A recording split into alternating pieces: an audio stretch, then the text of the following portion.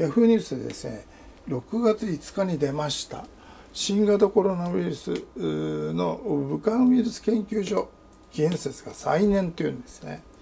共和党議員から6月3日下院新型コロナウイルス感染症特別小委員会の公聴会にですねアメリカ国立アレルギー感染症研究所 NIH の前所長のアンソニー・ファウチ博士を召喚したと。ファウチさん皆さんね本当におなじみだと思いますけれども。最近お名前聞かないけれども。日本日本この人にもねビル・ゲイツ氏と同じで勲章をあげたんですよね、うん、あそうですか。勲章あげたんですか。勲章あげたんですよね。ビル・ゲイツになんで勲章あげる必要があるんですかね。あそれはあの途上国への感染症対策とかそういう名目で。ビジネスになるんだろうということを言ったのはそのコロナ禍のパンデミックが起こる少し前でしたよね彼がそういう発言をしていたのは。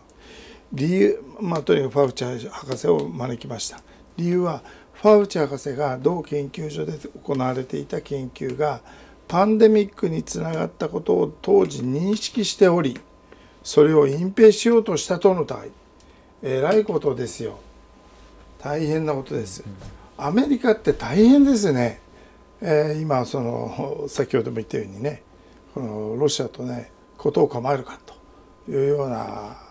戦争の話をしてで大統領選もあってで南からはあの移民がいっぱい来るんだと。でもその移民たちはどっかブラックマーケットで連れてかれてね取れるとしてるかもしれない。そんな中で収まったはずのコロナ禍で今になってこのファウチ博士があパンデミックにつながった研究を当時認識して隠蔽していたと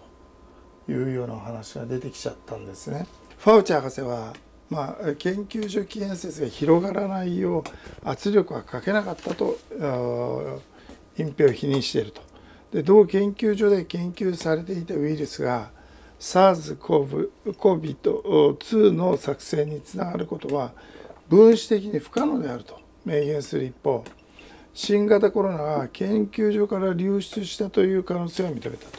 研究所というのはこれ武漢の研究所ですよねそうパウチさんの研究所じゃございませんね。ね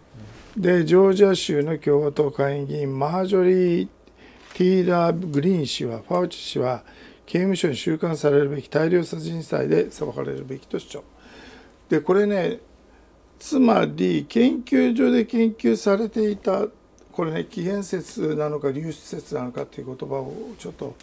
僕らさっきあの議論していたんですけれども作成していたんだったら起源説ですよね。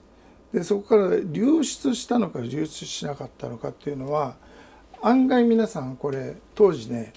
あの問題にしなかったんですよ。つまりそこで研究されていたらそこから流出するもんだっていうふうに思い込んじゃってるんですよね。ほとんどそうだったでしょ。だけど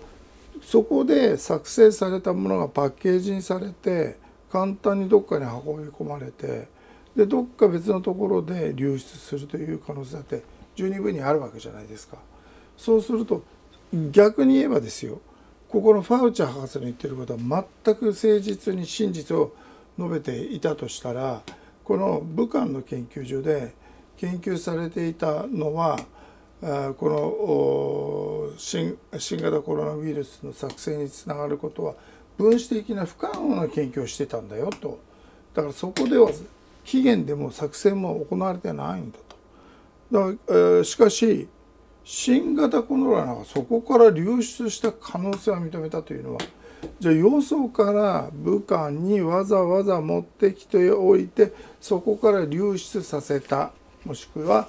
あ不作為でもしたというような見方もできるわけです。あの作成とか起源という言葉とですね流出またはその漏出というような言葉というのを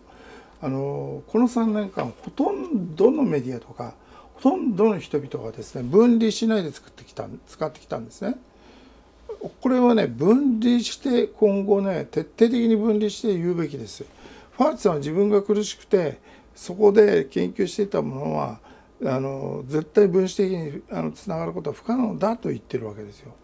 しかしそこから出たことは認めたと。じゃあどこからやってきたのって話ですよね。まあ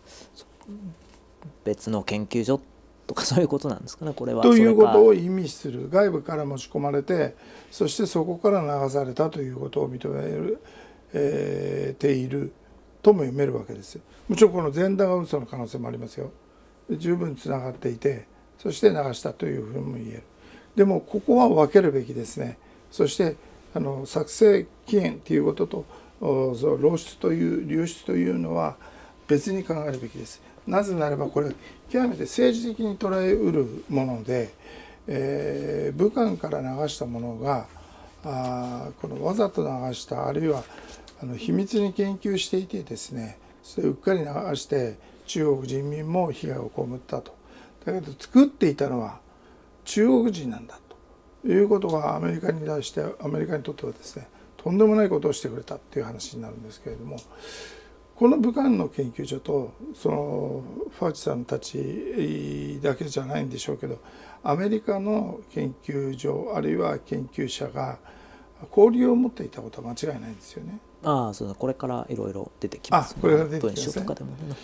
えー、そういうことが分かっているだけに、えー、どちらに非があるのかその非難合戦みたいになる可能性があるわけですよ。